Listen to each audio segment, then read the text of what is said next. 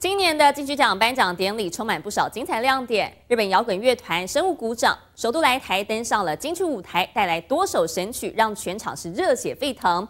另外，变装皇后倪菲雅也惊喜的出现在大荧幕上伴舞。而好久不见的金曲歌后顺子，暌违十年再度回到了金曲舞台上，演唱招牌歌曲《回家》，让全场观众听得如痴如醉。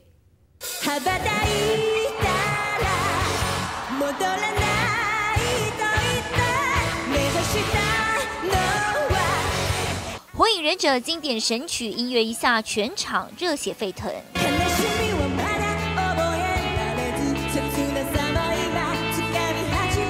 日本摇滚乐团生物鼓掌出道二十五年，首度来台登上金曲三五舞台，轰动全场。大家好，我们是生物鼓掌。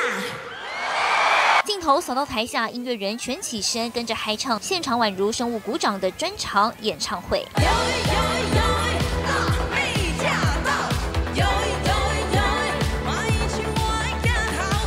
古亮片开叉洋装，果然是辣妹驾到了。台语歌手张秀清华丽排场，让现场化身大型舞厅。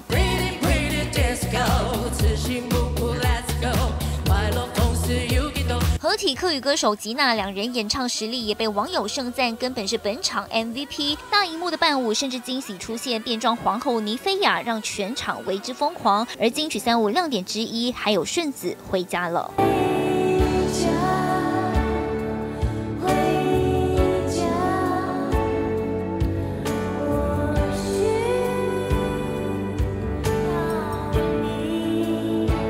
熟悉旋律掀起粉丝回忆杀，旅居法国的顺子暌违十年重现在金曲奖舞台，演绎当年走红的招牌歌曲，而金曲三五美声还有他。